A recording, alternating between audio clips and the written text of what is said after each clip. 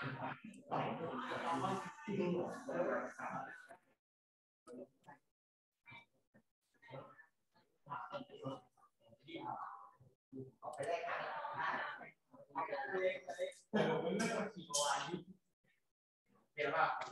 ะเด็กๆพร้อมหรือยัง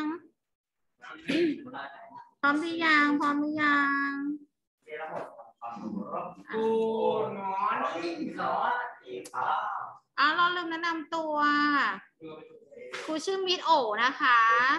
เป็นครูสอนการงานคนใหม่นะคะ วันนี้เราเจอกันเป็นครั้งแรกเนาะเรายังไม่รู้เลยว่าเรียนอะไรกันไปแล้วบ้างอะ เรียนนี่ธุรกิจไปแล้วเรียนธุรกิจไปแล้ว เรียนเรื่องการปักทำอ๋อ การปักชำใช่ไหมอ๋อ เรียนเกี่ยวกับพืชนะ อะ เด็กเห็นก๋วยเตี๋ยวแล้วอยากกิน หิวแล้วใช่ไหม เด็กๆ ในซูมได้ยินเสียงมีดไหมคะ ได้ยินเสียงมีดไหมลูก ได้ยินครับ ได้ยินครับ ตอบหน่อยก็ได้นะคะ ได้ยินไหมครับที่โฟกัสกับเอ่อคุณครูได้ยินผมไหมครับออนไลน์ก็จะแบบไม่ค่อยครูได้ยินผโอมเคไหมครับค่ะตามนั้นฮัลโหลครับ ครูได้ยินผมไหมครับ อ่า งั้นเราเดี๋ยวฮัลโหลวันนี้ฮัลเราโหลครัจะบ มาเรียนเรื่องนี้กันนะคะ อะจะเรียนเรื่องการขยายพันธุ์พืชนะ คราวที่แล้วเรียนไปบ้างแล้วเนาะหนังสือขึ้นมาเปิดตามก็ได้นะคะ เปิดดูตามไปเลยนะ การขยายพันธุ์พืชนะ ครูได้ยินป่ะครับ หน้าที่ เก้าสิบแปดค่ะเก้าสิบแปดมีหนังสือไหมนี่มาดูไปตามเก้าสิบแปดนะ ดูไปตามๆกันเก้าสิบแปดฮัลโหลครับ ได้ได้ยินไหมครับตูนเองบ็อกซี่ฮัลโหลครับ ครูครูได้ยินผมไหมครับ อ่าการขยายพันธุ์พืชนะคะ ก็จะมีเราจะเรียนกันเรื่องเกี่ยวกับความสัมพันธ์ของการขยายพันธุ์พืช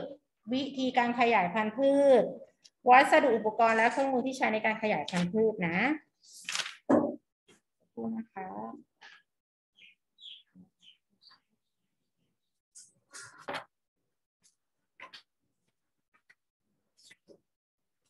ร้อนกันใช่ไหมร้อนร้อนกันใช่ไหม อ่าเรื่องแรกความสำคัญของการขยายพันธุ์พืชนะ ก็ไม่ได้ไม่มีอะไรมากหรอกแต่ก็เป็นวิธีการที่จะเพิ่มจำนวนต้นพืช ให้มีปริมาณเพิ่มมากขึ้น แต่ว่าดำรงสายพันธุ์พืช ชนิดต่างๆ ไม่ให้สูญพันธุ์ไปแล้วก็เป็นพันธุ์เดิม แต่ว่าให้ได้ผลผลิตที่เพิ่มมากขึ้นเท่านั้นเองนะคะอ่าพืชนะ การขยายพันธุ์พืชอะมีความสำคัญหลายด้านนะคะ มีทั้งความสำคัญต่อด้านมนุษย์ อ่าด้านต้นต่อต้นพืช ต่อสังคม สิ่งแวดล้อม ทรัพยากร ต่ออาชีพแล้วก็ความสำคัญต่อประเทศด้วยนะ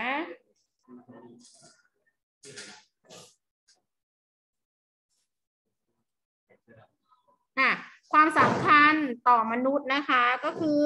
เป็นการเพิ่มจำนวนของต้นพืชนะคะ เป็นการเพิ่มอาหาร เครื่องนึ่งห่มที่อยู่อาศัยแล้วก็ยารักษาโรคขยับ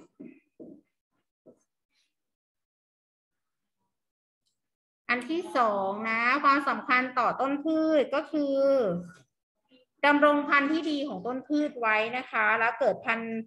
ใหม่ ๆ ที่สามารถตอบสนองความต้องการของมนุษย์ได้นะคะ เช่น เราสามารถผลิตต้นมะนาวให้มันออกผลนอกฤดูกาลของมันก็ได้นะคะ การขยายพันธุ์พืชเนาะอะแล้วก็ข้อสามความสำคัญต่อสิ่งแวดล้อมนะคะ ทำให้เกิดความร่มรื่น เพิ่มออกซิเจนในอากาศทำให้อากาศบริสุทธิ์และช่วยดูดควันพิษจากการเผาไหม้เชื้อเพลิงของรถยนต์ได้นะ การเพิ่มปริมาณของต้นพืชเนาะความสำคัญต่อทรัพยากรธรรมชาตินะคะ การขยายพันธุ์พืชแล้วนำไปปลูกในที่ดินว่างเปล่าน่ะจะทำให้ที่ดินนั้นมีคุณค่ามากขึ้นดีกว่าปล่อยรกร้างทิ้งไว้นะ ข้อห้าความสำคัญต่ออาชีพนะคะ ก็จะจะเกิดอาชีพที่เกี่ยวข้องกับการขยายพันธุ์พืชเพิ่มมากขึ้นเนาะขอโทษค่ะความสำคัญต่อประเทศนะคะ ความสำคัญต่อประเทศ การนำผลผลิตที่ได้จากการขยายพันธุ์พืชเช่นฮัลโหลครับข้าครูได้ยินปะครับยางพารา แล้วก็ฮัลโหลมะม่วฮังลโหลทุเรียนครูได้ยินเนี่ยปะครับไปจำหน่ายไปสินค้าส่งออกระหว่างประเทศได้ คุณคุณอะครูครับ ต่อไป ฮัลโหล ฮัลโหลครับ การขยายพันธุ์พืชนะคะ แบ่งออกเป็นสองประเภทใหญ่ๆเนาะ มีสองประเภทใหญ่ๆก็คือ การขยายพันธุ์แบบอาศัยเพศนะคะ ฮัลโหลครับ กับครูครูได้ยินผมปะคการับรครู ขยายพันธุ์แบบไม่อาศัยเพศฮัลโหลครับ อ่า ครูครูได้ยินผมปะครับ การขยายพันธุ์พืชแบบอาศัยเพศนะ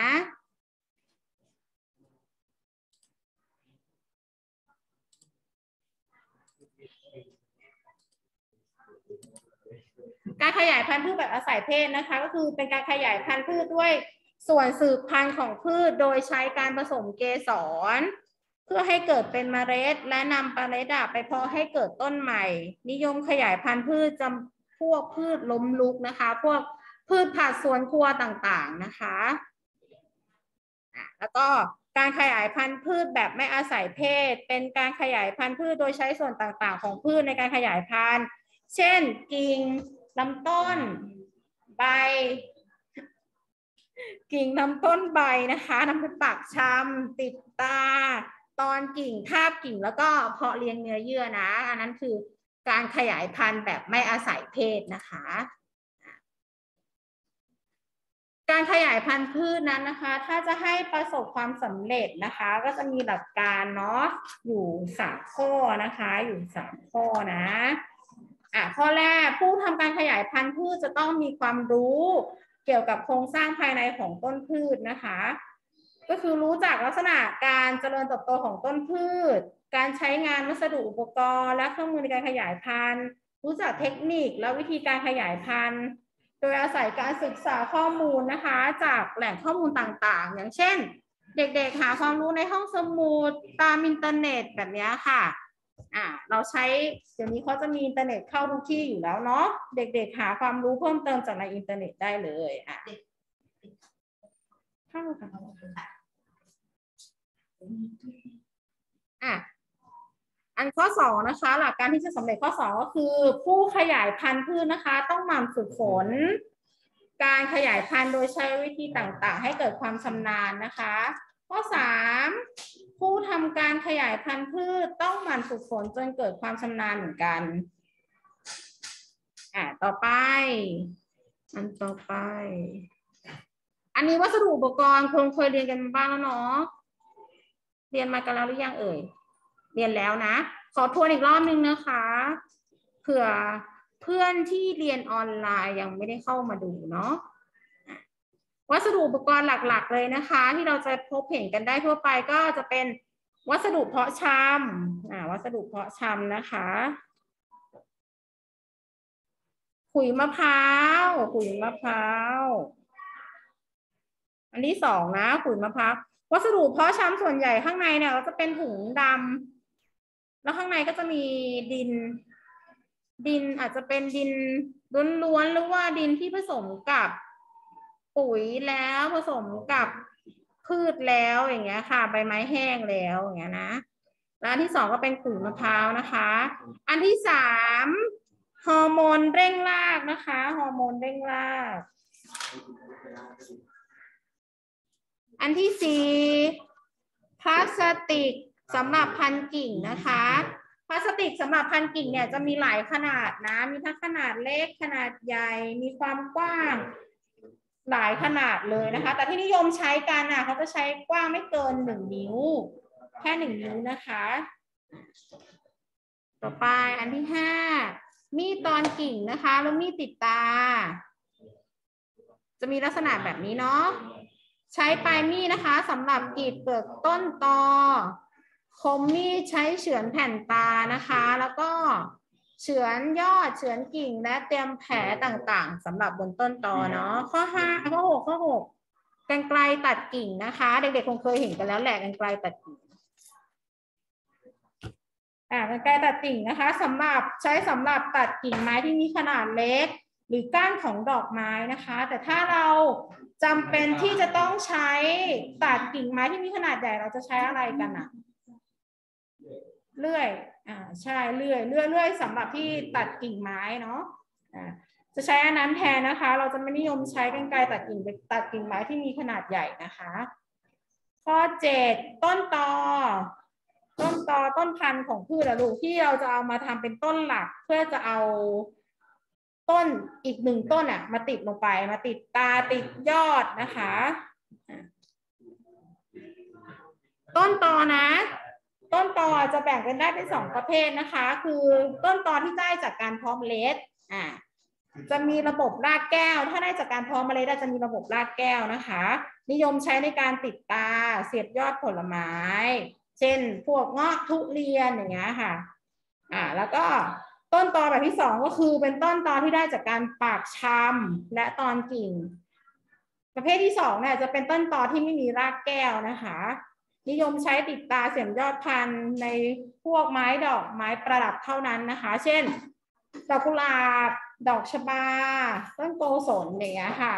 ต้นไม้ประเภทนี้จะเป็นต้นไม้ที่เสียบจากต้นตอที่ไม่มีรากแก้วนะคะ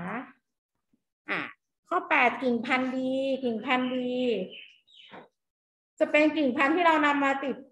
ตาหรือต่อลงบนต้นตอนั้นนะคะ ต้องคัดเลือกกิ่งพันธุ์ที่ดีที่สุดนะคะ ที่มีลักษณะดีที่สุดและให้ผลผลิตสูงที่สุดนะคะอ่าต่อไปเป็นวิธีขยายพันธุ์พืชแล้ว วิธีวิธี อันนี้เป็นวิธีการปักชำเด็กๆดูตามในหนังสือก็ได้นะ ดูตามไปในหนังสือเลยนะคะ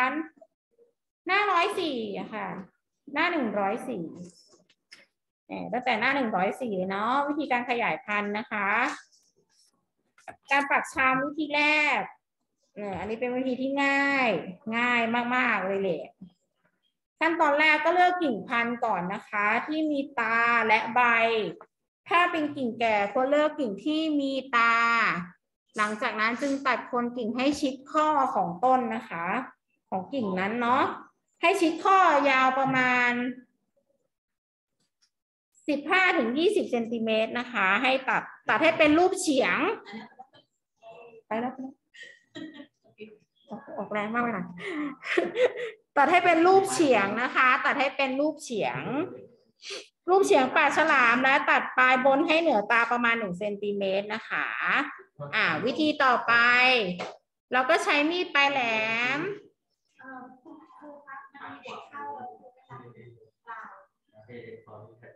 สักครู่นะคะมีมีอยู่ค่ะก็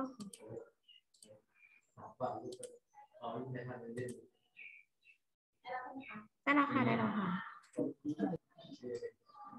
เด็กๆในซูมเห็นยังเห็นสไลด์อยู่เนาะอะเด็กๆที่เพิ่งเข้ามาในซูมนะคะ ให้ดูหน้าหนึ่งร้อยสี่ตามไปนะคะ อันตอนนี้กำลังเรียนเรื่องการปักชำอยู่นะคะ เป็นวิธีที่สามแล้วการปักกิ่งชำลงในวัสดุเพาะชำนะคะเด็กๆดูในหนังสือตามไปได้เลยนะคะ หลังจากที่เราตัดกีด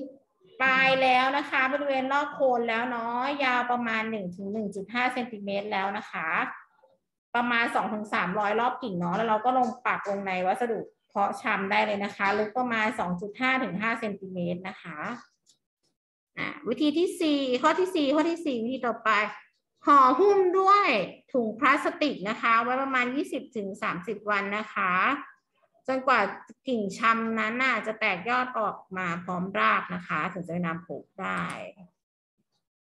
ฮัลโหลฮัลโหลครับครูได้ยินป่ะครับอ่าวิธีต่อไปนะคะ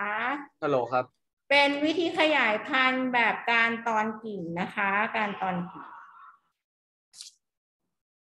มือนเดิมเลย เราก็จะเลือกกิ่งที่เราจะใช้ก่อนนะคะควรเลือกกิ่งที่แก่กิ่งอ่อนที่สมกิ่งอ่อนที่สมบูรณ์ หรืออายุไม่เกินหนึ่งปี มีใบสมบูรณ์ ไม่มีโรค หรือมแมลงมาทำลายนะคะโดยปกติแล้วอะมาจะเลือกกิ่งกระโดงซึ่งเป็นกิ่งที่งอกในแนวตั้งขึ้นมาตรงๆอะค่ะ ตั้งขึ้นมาตรงเลยแล้วจะพุ่งขึ้นอย่างเดียว แล้วเป็นกิ่งที่อวบอ้วนด้วย หลังจากนั้นเราก็จะทำแผลทำรอยแผลบนกิ่ง โดยคว้านกิ่งทั้งด้านบนและด้านล่างนะคะ แล้วลอกเปลือกออก การคว้านกิ่งอะ ก็จะทำเป็นรูปสี่เหลี่ยมผืนผ้านะคะ แล้วก็ลาะเปลือกของกิ่งนั้นออกนะคะ เฉพาะตรงที่เรารอยรอยทำแผลไว้เนาะแล้วก็ขูดเนื้อเยื่อที่เจริญออกนะคะ ที่มันเป็นเมือกลื่นๆน่ะเอาออกก่อนนะคะ เพื่อตัดทางลำเลียงอาหารนะคะ โดยเราจะขูดจากบนลงข้างล่างเท่านั้นนะคะคุณครูคะพีเจอืมค่ะได้ค่ะ ขึ้นไม่ได้ ขึ้นจะลงไม่ใช่ลงไปขึ้นไม่ได้ไม่ได้ค่ะไม่ได้ทำไมมันวิธีการลำเลียงอาหารของมันก็คือมันจะตัดขึ้นข้างบนแบบนี้ใช่ไหมเราก็จะตัดตอนนั้นอ่า ตัดตอนมันไม่ให้มันลำเลียงอาหารได้นะคะอ่าต่อไป หลังจากที่เราทำรอยเสร็จแล้วนะคะ เราก็จะทาฮอร์โมน เร่งรากนะคะ บริเวณบริเวณลายแผลบนกิ่งตอนนะคะ จะช่วยให้กิ่งอะ ออกรากเร็วมากขึ้นนะคะ เสร็จแล้วต่อจากนั้นพุ่มกิ่ง โดยนำตุ้มตอนซึ่งเป็นขุยมะพร้าวที่แช่น้ำแล้วมาบีบนะคะ มาบีบน้ำมันหมาดๆแล้วก็อัดลงในถุงพลาสติก แล้วก็มาผูกถุงพลาสติกให้แน่นอะแล้วก็ผ่าตามรอยยาวของถุงเสร็จแล้วก็เอาไปหุ้มตรงรอยที่เราทำรอยแผลไว้นะคะแล้วก็เชือกมัดหัวท้ายให้แน่นเนาะแล้วเมื่อกิ่งนะคะ มีรากแทงทะลุขุยมะพร้าวมาแล้วนะคะ และเริ่มเปลี่ยนเป็นสีเหลือง สีน้ำตาล ปลายรากมีสีขาว เราก็จึงตัดกิ่งนั้นนะคะ ไปชำในภาชนะหรือกระถางในถุงเพาะชำต่อไปเนาะอะต่อไปวิธีต่อไป การทาบกิ่งนะคะ อันนี้ก็ไม่ยากเลย คุณชุกรทำไมนั่งทำหน้า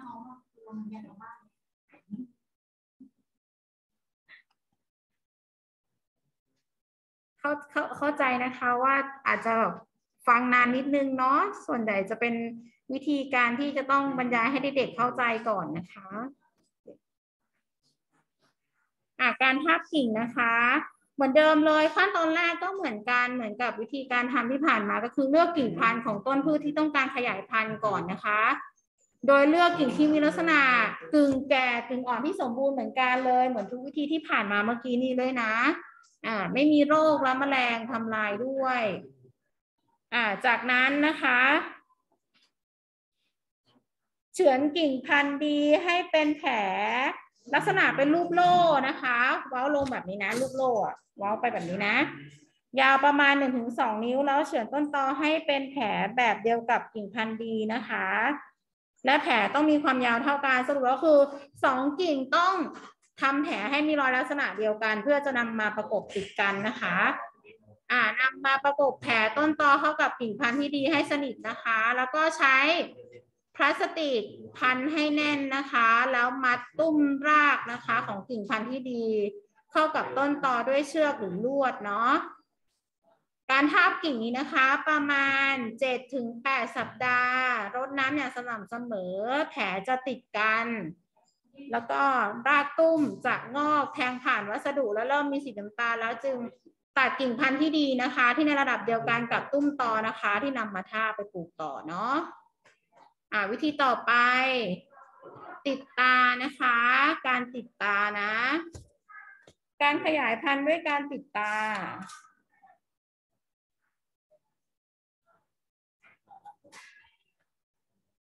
อ่าเหมือนเดิมเลยขั้นแรกก็เลือกต้นตอในส่วนที่เป็นสี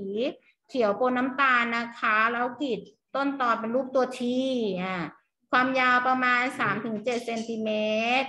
จากนั้นนะคะก็เฉือนแผ่นตานะคะ ของกิ่งพันธุ์ที่ดีแล้วใช้ติดเป็นรูปโล่นะคะ ยาวประมาณ 7-10 เซนเนาะเด็กๆดูในตามหนังสือได้เลยนะ ดูในหนังสือไปพร้อมๆกันได้นะ หน้าหนึ่งร้อยแปดแล้ว จากนั้นลอกเอาเนื้อไม้ออกนะคะ เอาเนื้อไม้ที่เราเฉือนไว้ออกนะ ในกิ่งนะ เสร็จแล้วสอดแผ่นตาที่เราจะ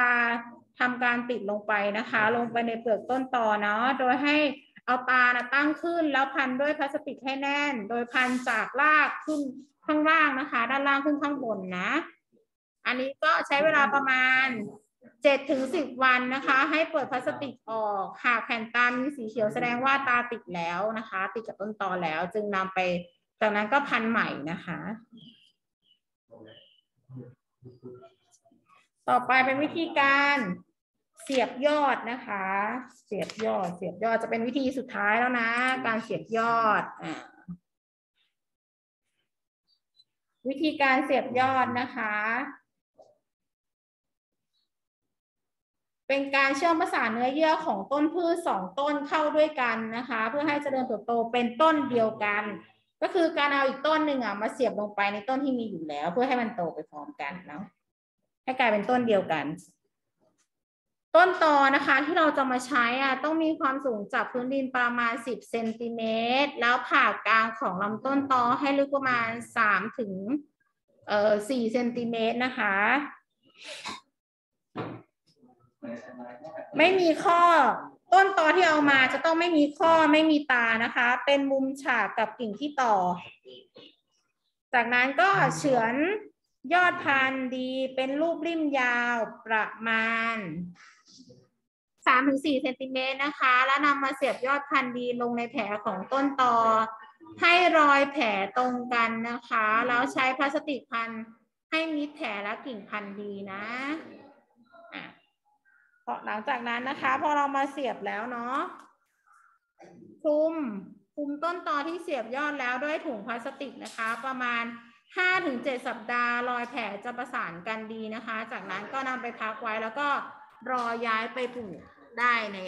ต่อไปเนาะอะอันนี้ทั้งหมดนี้เป็นวิธีการขยายพันธุ์พืชนะคะ เด็กๆพอจะทราบวิธีคร่าวๆกันบ้างแล้วเนาะ เคยทำกันบ้างไหมอะ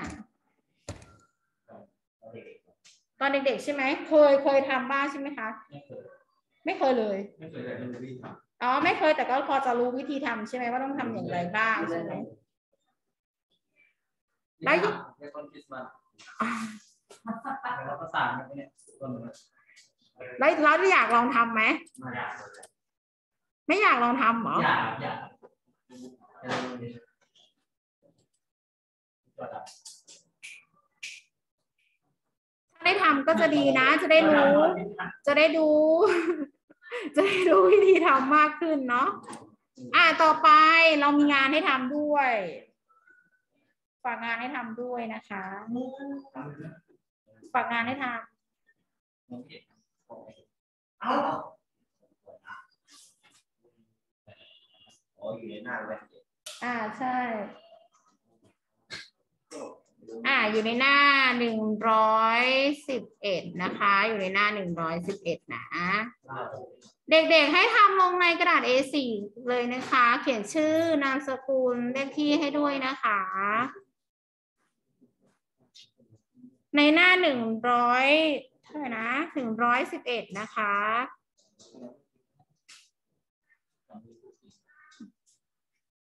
อยากกลับไปเรียนธุรกิจ เด็กๆในห้องซูมเห็นกันไหมคะ มีงานให้ทำนะในหน้าหนึ่งร้อยสิบเอ็ดนะคะ ให้ทำลงกระดาษ A4 นะคะ แล้วหลังจากนั้นเขียนชื่อนามสกุลเลขที่แล้วก็ถ่ายรูปส่งในไลน์กลุ่มให้ด้วยนะคะทำทั้งสิบข้อเลยเหรอทำตอคะนนี้ได้ทำเลยนะคะทำได้เลยเนาะ ถ้ามีข้อสงสัยอะไร เปิดไมค์ถามได้เลยนะคะ มิดรอตอบอยู่นะทำสิบข้อเลยเหรอคะมิตรถามได้เลยนะคะ มิตรคะ เด็กๆเห็นกันแล้วเนาะเดี๋ยว มิเดี๋ตยวรมิมิดตรจะคะแชมิตรไม่ได้ยิน ร์ให้ดูมิตรนะคะ มิตรมิตรจะแชร์คลิปมิตรคะการมิตรขั้นคะตอนการอันนี้ให้ดูนะคะ ไปพร้อมๆกันเลยเนาะเดี๋ยวสักครู่นะ มิตรคะ ได้ยินไหมคะมิตรคะค่ะมิตรมันจะตัวตัวใหญ่เราใส่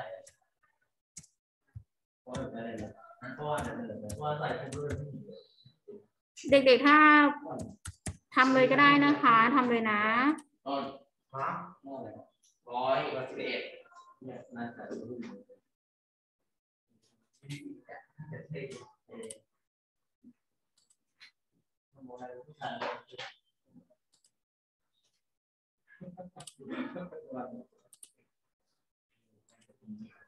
มินคะอะอันนี้เป็นวิธีการขยายพันธุ์พืชนะคะ มิดไม่ได้ยินเหรอคะเสี ยงอะไม่ได้ยินอ่านไม่ตอบ เด็กๆดูรูปไปก่อนแล้วกันเนาะวิธีวิธีการทาบกิ่งนะคะมินคะอุ๊ยโดนโตะไม่ได้อ่าวิธีการทาบกิ่งพาวอย่าพยายามเถอะเชื่อกูหนูก็ไม่โดนโตะเลยมั้งคะกูว่าไม่ได้ยิน เกษตรสร้างสรรค์อ่า เกษตรตั้งสร้างสรรค์นวัตกรรมสร้างรายได้นะคะ คลิปนี้เป็นวิธีขั้นตอนขยายพันธุ์พืชนะคะ อันเนี้ยถ้าเราอยากเห็นของจริงนะ ไปดูที่ได้ที่ศูนย์วิทย์อะเทคโนธานีอะคลองห้าน่ะอ่ามีมีมีจะมีสวนเกษตรให้ดูตอนนี้เขาทำเขากำลังทำเป็นสวนดอกไม้ คนนี้คืออะไรนะ ดรอนันต์ค่ะพิริยะพัฒนกิจ คุ้นคุ้นๆไหมรู้จักจะเป็นคนกดไลค์หน่อยแค่ว่าคนกดไลค์น้อยใช่ไหมชอบคนนั้นเองคนไม่ชอบหนังสือใช่ใช่ใช่มันปิดไว้แล้วมันยิงเขาน่าจะปิดไว้หรือเปล่าไม่ไม่ยูทูบมันปิดให้เขาดูมันไม่มีเสียง มันไม่มีเสียงเขาบอกว่าเตรียมไว้ถึงเด็กไหมเราในซูมอะค่ะ มันก็กดแชร์ซ้ำนะต้องกดแชร์หน่อยค่ะตามแป๊บไม่เด็กไม่ได้ยินใช่ไหมไม่ได้เฮ้ยมอสลองบอกว่าไม่ได้ ที่ไหนที่มันเหมาะสมกับการอ่าขยายพันธุ์แบบนี้บ้างคะสำหรับพืชที่เหมาะสมในเรื่องของการขยายพันธุ์พืชแบบปักชำเด็กๆได้ยินเสียงอยู่ใช่ไหมคะสามารถออกรากง่ายอวบน้ำได้ยินมิเสียงดาไหมได้ยินหนูลูกหรือเปล่าคะโดยทั่วไปอย่างได้ยินเสียงเบามากเราจะเห็นเรื่องของอ่าต้นเข็มได้ยินอยู่ใช่ไหมคะปักชำง่ายนะครับ ทีนี้การปักชำเขาก็จะมีได้วิธียินการค่ะไม่ได้ยินเดี๋ยวเราค่ะจะนี้ให้ละกันเดี๋ยวมีพืจะชขที่ยับสามารให้ถละเอามากันใช้นะในคะการเสียบยอดนะครับ เสียบยอดวิธีการเสียบยอดเป็นวิธีที่ขยายพันหน้าธุ์จอพืไปชแล้ว โดยอ่าต้องหาต้นต่อ ซึ่งเป็นพืชที่อยู่ในสกุลเดียวกันนะห้าคมรับ โดนห้ามพืชในโดสกุลเดียวกันใช่ ค่ะ แล้วเราก็ไปเอากิ่งพันธุ์ระหว่างมจกดูที่คลิอื่ปนนะคะได้ก็รับทำงานไปด้วยเลยเนาะ หน้าที่แปลงของเราเอง ตัวอย่างเช่นถ้าเรา อ่าต้องการมะม่วงเรามีมะม่วงสายพันธุ์เพื่อนจะเสร็จแล้วนะทำในสมุดก็ได้แล้วในกระดาษ A4 ก็ได้ให้เขานะส่งคะยอดให้มาเขียนคำตอบแล้วให้ก็ถูกต้องต้นต่อให้ครที่บเป็นทุกมะข้ม่วงแก้อวแล้วก็เขียนแล้วเราก็ชื่มาเสียอบยนามอสดกุลได้ให้ด้วยแล้วก็นะคะ วิธีหนึงก็วิธีทาบกิ่งใช่ไหมครับทาบกิ่งก็คือเป็นวิธีการที่ขยายพันธุ์พืชแบบติดชัวร์ๆเพราะว่าเขียนชื่อนถ้าเรามีสกุลต้นพันธุ์ให้ดีด้วยนะคะที่แปลงของเรา เราก็หาต้นตอจากที่อื่นมา แล้วเราก็ใช้วิธีการถ้าเสร็จแล้วรีกาส่งเลยก็ได้ค่ะหุ้มหุ้มโคนของต้นตอแล้วก็เอามาห้อยต้นอ่าเสร็จแล้วส่งเลยก็ได้ต้นพันธุ์ดีเอาเป็นว่าให้กำหนดส่งชัวร์ว่ามันจะได้ต้นใหม่ใช่ติดแน่นอนมันค่อนข้างจะง่ายนะคำถามสำหรับอะง่ายๆก็คือเขียนไม่เยอะหรอกการ ตอนกิ่งตอนกิ่ง นะครับค่อนข้างอันนี้ง่าย ตั้งแต่ค่ะเด็กๆแล้วสิบข้อป่ะทุกคนน่าจะเคยทำสิบมาข้อเองให้กำหนดส่งพรุ่งนี้นะโรงเรียนเนี่ยส่วนมากให้กำหนดส่งได้ถึงพรุ่งนี้นะคะ การตอนกิ่งหาคอไม่ได้ ที่ได้เลยนะ ครับแล้วก็เวลาเราตอนกิ่งเราก็จะพยายามดูตรงบริเวณอ่าตาของของส่งในกิ่งไลน์กลุ่มได้เลยรากเขาก็จะออก คำถามจะอยู่ในวันนี้เราจะมาลองหนึ่งภาพกิ่งร้อยนะครับสิบเอ็ดต้นนะสาคะวรสหนึ่นะงครับร้อยสิบเอ็ซึ่ดงนะ เป็เด็นกๆเข้าไปดูได้เลยนะไม้คะ ผลที่เรารับประทานกันทั่วไปนะครับ หลักการง่ายๆก็คือเรามีต้นต้นตอนะครับ ซึ่งเป็นต้นเสาวรสพื้นบ้านที่ได้จากการเพาะเมล็ดนะครับ เป็นต้นพันธุ์สำหรับที่จะเราจะเอามาเป็นต้นสำหรับทาบกิ่งนะครับ แล้วก็อุปเสร็กจรณ์อย่างแล้นี้วคือก็เป็นการตัดถ่ายกิ่งรูปส่งในมีไลดน์นะครับกลุ่มมีดได้เลยมีดนะตอนคะแต่ว่าหลักๆเราใช้ง่ายๆ คือมีดคัตเตอร์ตามทั่วไปได้เสร็จแล้วแล้วก็เทปพันนะครับ แล้วก็เชือกฟางแค่นี้นะครับง่ายๆทีนี้เราจะมาดูวิธีการด้วยกันนะครับ หลังจากที่เราได้ เรามีต้นต่อแล้วนะครับ เราก็อ่าใช้วิธีการรัดโคนนะครับ เพื่อที่จะนำโคนตัวนี้นะครับไปห้อยบนบริเวณบนต้นนะครับ บริเวณต้นพัระนหว่างธุ์ดีที่เราเด็ก็กจะทำเลือกงานเด็กก็ดูยอดคลิปไปด้วยอ่านะคะที่สามารถที่จะขยายพันธุ์ได้อย่างยอดนี้นะครับ ก็สามารถได้ใช้ได้ ตัวนี้ก็จะเป็นเสาวรสอีกสายพันธุ์หนึ่งนะครับ ซึ่งให้ผลผลิตดีกว่านะครับ แล้วก็รสชาติดีกว่า แล้วก็เอาต้นต่อนะครับ ซึ่งเป็นเสาวรสพันธุ์พื้นบ้านนะครับ มาห้อยอยู่บริเวณนี้นะครับ เรากะประมาณว่าเราจะทาบบริเวณไหนนะครับ เราก็ให้มันอยู่ระดับเดียวกันกำลังทับกิ่งนะเมื่อเรารัดสายแล้วเราก็กะประมาณนะครับ ว่าเวลาเราคว้านกิ่งแล้วเราทับให้มันอยู่ระดับไหนนะครับ แล้วเราก็ค่อยคว้านกิ่งต้นต่อแล้วก็ต้นสายพันธุ์ดีนะครับวิธีคว้านนะครับ เราปาดทีเดียวด้วยคัตเตอร์คมๆนะครับเพื่อไม่ให้มีรอยช้ำนะครับ ผิวที่โดนปาดค่อนข้างเรียบนะครับ หลังจากนั้นเราก็มาปาดบริเวณต้นพันธุ์ดีนะครับ ขั้นตอนต่อไปเราก็ใช้เทปพันเกลียวนะครับ หรือว่าเทปพันกิ่งที่มีขายตามท้องตลาดทั่วไปนะครับ ก็เอาตัวบริเวณที่เราปาดเมื่อกี้นะครับ ประกบกันนะครับ แล้วเราก็ใช้ตัวเทปนะครับ พันเพื่อให้ เนื้อเยื่อ แล้วก็ท่อน้ำท่ออาหารของกิ่งพันธุ์ดีกับกิ่งต้นตอเนี่ยประสานกันนะครับ ตัวนี้เราจะใช้ระยะเวลาประมาณ 1 เดือนนะครับทั้งสองกิ่งนะครับ ระหว่างต้นตอกับต้นกิ่งพันธุ์ดีก็จะประสานกันนะครับ หลังจากนั้นเราก็สามารถที่จะ ตัดต้นกิ่งพันธุ์ดีออกจากต้นแม่เขาได้ แล้วเราก็นำไปปลูกต่อไปนะครับผมทำไมเราถึงต้องพันเนื่องจากว่าประประการที่หนึ่งเลยคือ เราป้องกันน้ำจากข้างนอกเข้ามาบริเวณแผลนะครับ ไม่ให้มีน้ำเข้ามา ถ้าน้ำเข้ามาก็จะทำให้แผลที่เราปาดเมื่อกี้เน่าได้นะครับไม่เข้าใจตรงไหนเราก็คือป้องกันนะครับพิมพ์ถามได้นะคะถ้ามันมีลมพิพัดพ์แรถางๆได้เนี่ยนะมันสามารถทำให้แผลตรงนี้ฉีกขาดได้ เพราะฉะนั้นเราก็ใช้เชือกฟางส่วนหนึ่งเรารัดบริเวณโคนนะครับ ด้านล่างที่เราปาดนะครับ รัดบริเวณด้านด้านบนนะครับ ก็เสร็จแล้วครับวิธีง่าย ๆ ในการทาบกิ่ง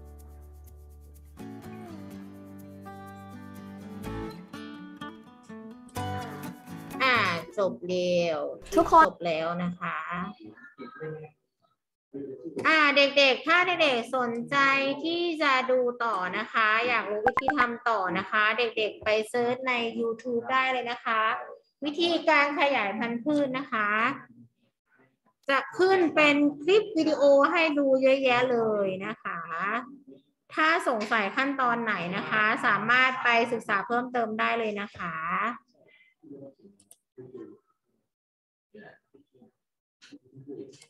เ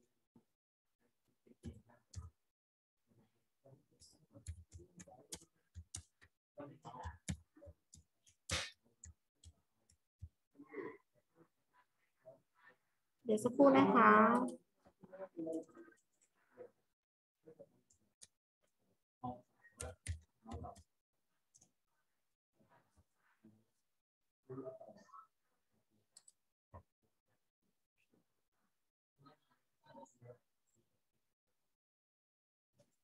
เด็กๆเข้าใจแล้วเนาะว่าทำงานหน้าไหนส่งบ้างนะคะ เสร็จแล้วถ่ายส่งไลน์กลุ่มได้เลยนะคะ ยังไงวันนี้มีขอฝากงานไว้แล้วขอจบการแชร์สไลด์เพียงเท่านี้นะคะ ขอบคุณนะคะ สวัสดีค่ะ